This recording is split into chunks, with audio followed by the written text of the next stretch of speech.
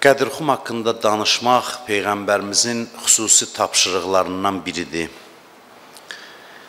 Peyğəmbər öz xütbəsində təkid edir ki, kim bu xütbəni eşitdisə, gərək başqalarına da çatdırsın. Burada deyilən sözləri eşidənlər eşitməyənlərə çatdırsın. Qədirxum haqqında danışmaq çox vacib məsələdir. Qədruxum hələ aktuallığını saxlayacaq.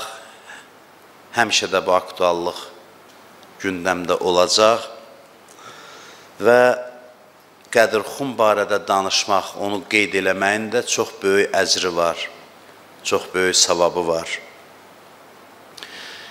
Peyğəmbərimizin sünnətinə əsasən üç gün bu bayram qeyd edilməlidir. Çünki özü də orada üç gün beyyət alıb insanlardan.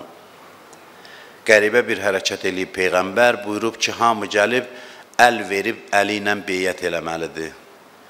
Deyiblər, ya Rasulallah, ümumi beyyət olsa olmaz, xeyr, hamı gəlib, əl verməlidir. Bu, davam eləyə bilər, uzun vaxt apara bilər. Buyurdu ki, eybi yoxdur. Uzun vaxt aparsa da, bu, tək-tək hər bir müsəlman əli ilə beyyət etməlidir.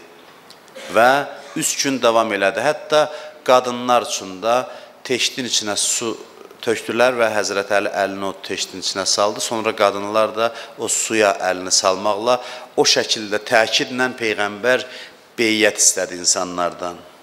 Peyğəmbər hikmətsiz iş görməz. Mə yantiqu anil hava in huwa illa vahyun yuha. O özündən bir söz danışmaz. Ona deyilənlər hamısı vəhdir. O elədiyi şeylər danışdığı sözlər hamısı Allahın vəhyidir. Bu qədər Peyğəmbər israr elədi ki, beyyət elə, eləyin. Və bizim bu məclisimiz də hər il beyyəti təzələmək üçündür. Ələ aleyhissalamla, əhl-i beytlə. Bir ayə haqqında danışacağım qısa olaraq. Keçmişdə o ayə haqqında çox danışmışam. Hesab eləmək olar ki, bu ayə Əlinin vilayətini qəbul edənlərin xüsusiyyətlərini bəyan edir ki, bunlar kimlərdir? Hədislər var bu barədə ki, bu ayə Əlinin vilayətinə bağlı olan insanların xüsusiyyətlərini bəyan edir. Bu ayədə deyilən xüsusiyyətlər ilk növbədə Həzrət Əli əleyhissalamın özünə aiddir. Ondan sonra onu sevən və vilayətini qəbul edənlərə. Bu xüsusiyyət haqqında Peyğəmbər də Qədir xütbəsində danışır. Bu xüsusiyyətlər bizdə olmalıdır ki, vilayətə bağlılığımız bəlli olsun, Əlinin imamətinə bağlılığımız bəlli olsun.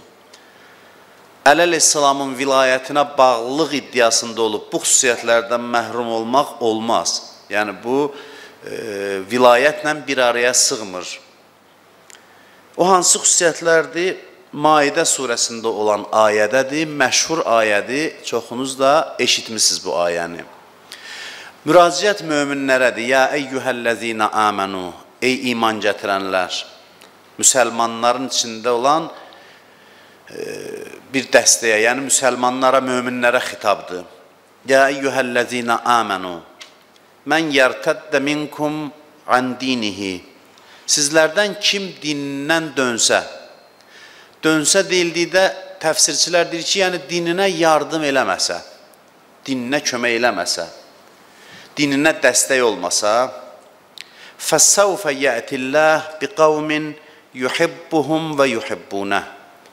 Allah sizin yerinizə başqa bir qövm gətirər, bir dəstə gətirər. Yəni, sizi dindən uzaqlaşdırar, din neymətini sizdən alar və başqa bir qövm gətirər. Onların xüsusiyyətləri budur ki, yuhibbuhum və yuhibbunəhu. Onlar Allahı sevir, Allah onları sevir. Allah onları sevir və bunlar da Allahın sevgisinə sevgi ilə cavab verirlər. Bu birinci xüsusiyyətdir. Allahla bunlar arasında qarşılıqlı məhəbbət var, sevgi var. Allah, Allah onları sevib yaradıb, sevib neymətlər verib, bunlar da bu neymətlərə, bu sevgiyə cavab olaraq bunlar da Allahı sevirlər.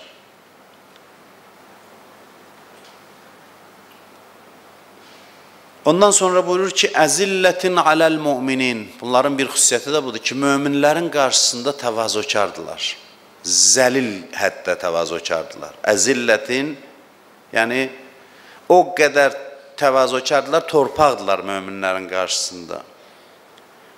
Əizzətin aləl kafirin. Ka kafirlərin müqabilində isə başı uca dayanıblar, möhkəm dayanıblar. Möminlərin qarşısında təvazökar, kafirlər deyildikdə burada düşmənlər nəzərdə tutulur. Adi kafirlər yox. Düşmənlərin qarşısında isə qətiyyətli dayanıblar. Bunların bir əlaməti budur ki, möminlərə qarşı mehriban və təvazökardılar. İndi dindarların içində bir dəstə formalaşıb ki, güc elə dindarlara çatır. Tam əksidir bu ayənin. Gücü dindarlara çatır. Sərtliyini dindarlara biruzə verir. Çünki görür ki, onlar güzəşt edirlər, ondan su istifadə edir. Ondan sonra buyurur ki, yücahidunə fi səbilillah. Allah yolunda yorulmadan çalışarlar, səy edərlər. Cihad sözü bu sözdəndir, cəhd sözündəndir. Cihad təkcə döyüş demək deyil. Cihad yəni Allah yolunda səy etmək, çalışmaq. Yücahidunə fi səbilillah. Allah yolunda yorulmadan çalışırlar və əsas bu xüsusiyyətin üzərində bu gün dayanacağam. Və la yaxafuna lawmata laim. Qınayanın da qınamasından qorxmurlar. Qınayanların qınamasından, qınağından qorxmurlar. Rişxənd eləyənlərin, məsxərə eləyənlərin söz-söhbətləri bunları hədəfdən yayındırmaz. Bunlar qorxudan geri çəkilməzlər. Bu yolda olanlar haqqında çox sözlər danışılar. Çox böhtanlar atılar. Çox olmadığı, olmayan eyibləri onlara nisbət verərlər. Məsxər edərlər, rişxənd edərlər, ələ salarlar. Amma bunları, bütün bunlar yollarından yayındırmaz. La yəxafunə ləvmətə laim. Bunları bildirdikdən sonra gözəl sonluq verir ayəyə. Buyurur ki, Zəlikə fadlullah yu'tihi mən yəşə. Bu Allahın fəzlidir ki, istədiyinə inayət eləyir. Öz istədiyi bəndələrə Allah bu fəzli inayət eləyir. Allahın lütfu olmalıdır ki, insan bu yolda sabit qədəm olsun. Bu vilayət Allahın lütfüdür qəlbə bəxş olunan bir nuraniyyətdir. Bu xüsusi bir lütfdir. Zəhmətlə əldə olunmur. Allahın inayətidir, minnətidir insanların boynuna. Zalikə fazlullah, bu Allahın lütfüdür.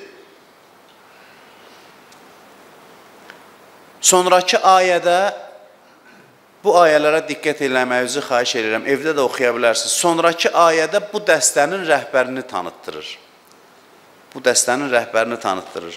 İnnəmə valiyyukumullah və rəsuluhu vəllezina amenullezina yuqimunəs-salah və yu'tunəz-zakah və hum rakiun. Sizin vəliniz Allahdır. Peyğəmbəridir və o kəslər ki, rükü edib, rükü halında zəkat verirlər. Rükü halında zəkat verirlər.